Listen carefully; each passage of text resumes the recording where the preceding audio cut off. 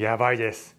さっきニュースで知ったんですけど梅毒の感染が過去最悪のペースで急増しています。どのくらいやばいかっていうと2003年の感染者数は509人だったんですよ。そんなに多くはなかったです。でも2022年はまだ半年しか経っていないのにすでに5000人以上が感染しています。半年でもう10倍以上。このままだと1万人を超える勢い。さらにですね男性の感染がすんごい多いんです。こちらのグラフを見るとどのくらい男性の方が多いか一発でわかります。ガビーン、うん、キスでも移ってしまうほど感染力がとにかく強いんです。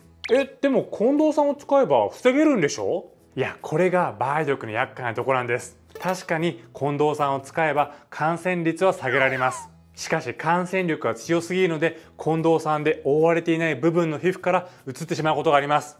じゃあ近藤さんに竿も玉も全部一緒に入れればいいってこと？いや入んないよ。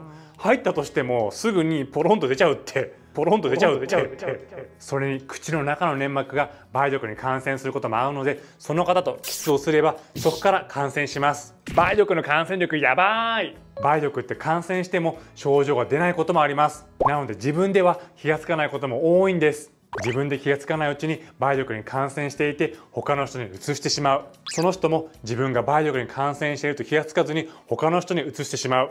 こうやって爆発的に感染が広がっているんですそれでですね感染から1ヶ月ぐらいすると少しずつ感染した場所に赤やピンクのポツポツっとした発疹が出てきます。なのでチンチンや口の中にポツポツっとしたものがないかまずは確認してください。実はこのポツポツ放っておくと自然と消えてしまうんですね。消えてしまうので治った！と勘違いしてしまうこともあります。でもウイルス自体は体の中に残っていて症状がどんどん進行していきます。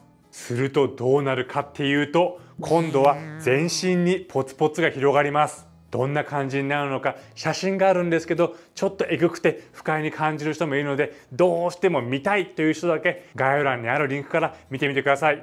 衝撃を受ける方もいらっしゃるのでこの動画の中には載せません。ズッコンバッコン。まあちょっとここまで梅毒やばいよやばいよっていう話をしたんですけどこの病気はちゃんと治療して完治ができる病気です治療方法は2つあって1つは飲み薬。もう1つは注射です。飲み薬は症状や進行具合にもよるんですけど2週間から3ヶ月間飲み続けます。飲み薬の治療費は保険適用で約2000円。自由診療で約1万円です。注射の治療は1回打てば終わりです。なので誰にも知られずに治療できるメリットがあります。注射での治療費は保険適用で約3000円。自由診療で約2万円です。何かに行けばいいか分かんないよ。という方泌尿器科性病科皮膚科に行けば大丈夫です。喉に違和感がある場合は耳鼻咽喉科に行ってください。最後に無料で検査ができる方法を紹介します。ペニペニ。検査自体は病院に行けば基本どこでもできます。検査費は保険治療で約2000円。自由診療で約7000円です。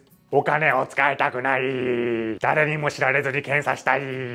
という方全国にある保健所ではなんと無料匿名で検査を受けることができます。最寄りの保健所がどこにあるか分かんないよって方。概要欄に保健所検索のリンクを載せておきました。そこからパパッと探せますので活用してみてください。梅毒が史上最悪のペースで広がっていますがちょっとでも心配な場合はまずは検査です。レッツペニペニそれではまた次回の動画でお会いしましょう。バイバイ。